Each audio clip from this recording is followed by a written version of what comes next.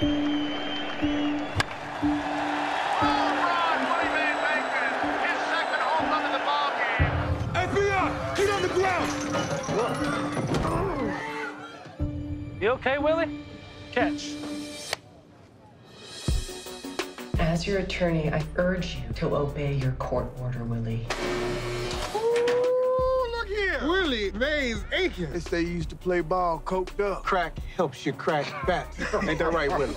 I have a job lined up for you. Road repair starts tomorrow. Oh, no way, man. I'm a major league baseball player. Well, you ain't no baseball star no more, Willie. You next time. You better wake up.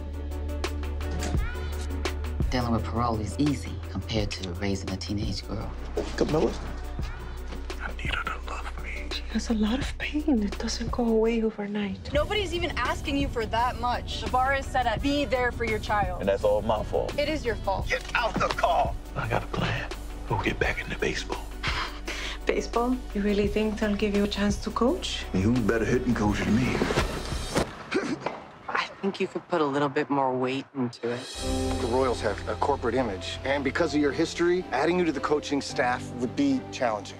How come George Brett can't help you? Who told you that name? I know he was one of the guys you didn't do drugs with. Willie, Willie, Willie. It's so great to see you, man. I want back in. Willie Mays Aikens still swinging for the bleachers, huh?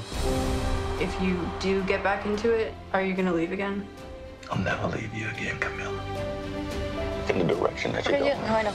It is about your team. It is about your family.